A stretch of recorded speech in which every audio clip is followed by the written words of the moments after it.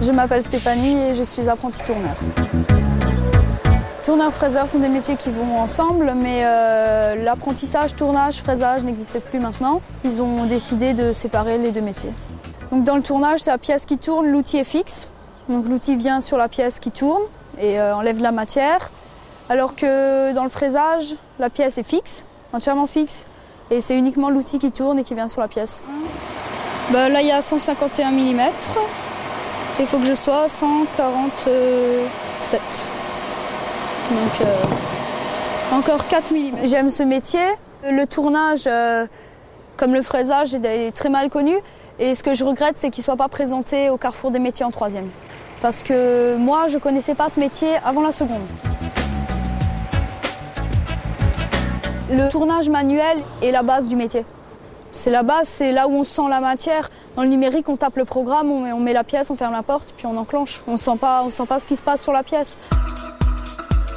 Mais euh, c'est vrai que le numérique, c'est l'avenir. Donc euh, forcément, il faut savoir le faire. Je l'apprendrai au sein de l'entreprise. Ça, par exemple, on utilise un outil en ça correspond au diamètre. Z, ça correspond dans le point.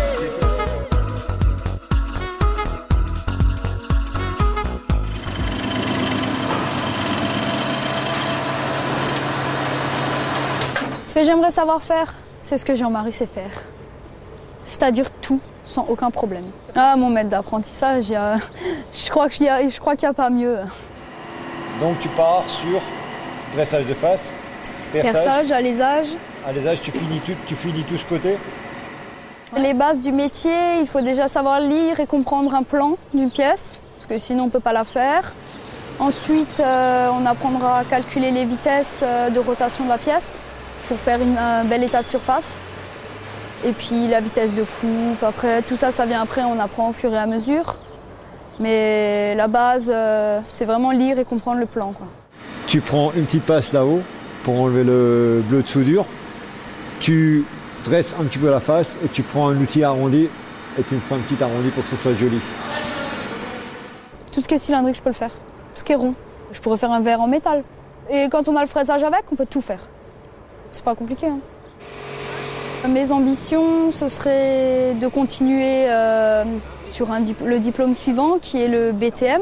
Et puis comme euh, mon copain et mon cousin, le, son cousin euh, font tournage, pourquoi pas faire monter une entreprise à trois. Ça serait C'est bien, on, en parle des fois, ouais. Ça serait quelque chose de bien.